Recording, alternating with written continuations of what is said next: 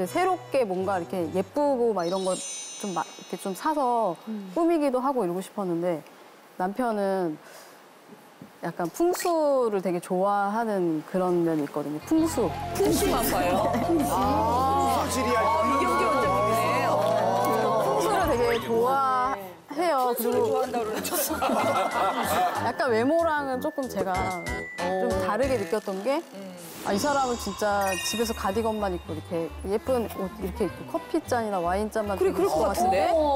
집에 이제 제가 딱 놀러 갔는데, 뭐 이렇게 배치나 이런 게 되게 좀 뭔가 인상 깊더라고요. 네. 본인이 설명을 해주잖아요. 여기는 뭐 안방이고. 왜 이렇지요? 뭐. 근데 이제 침대는 이쪽에 놔야 된다. 아, 머리가 동쪽으로 막 이런 거 했구나. 어. 그리고 뭐 소파는 크기가 어느 정도 돼야 되고 식탁은 또 둥근 원형 식- 식탁을 써야 된다. 그러니까 둥근 원형 식탁이 진짜 있는 거예요 집에. 그래서 뭐, 어, 보통 이런 좀 불편하잖아요. 진짜 다 따- 다른 집을 보면 다 네모나거나 정사각형이. 그치, 그치. 저도 약간 그런 큰. 좀, 좀 피곤하지 않아요, 그러면?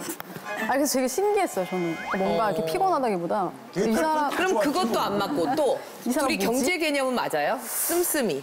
아, 경제 개념도 제가 놀러 갔을 때 이제 남편 집에 들어갔는데 뭐 이렇게 집에 옷방을 이제 구경을 시켜줬어요. 예. 이제 옷방을 구경을 했는데 제가 딱 본 순간 놀랬던 거는 운동선수 방 같이 그 트레이닝 막 아, 연예인인데 트레이닝밖에 없어.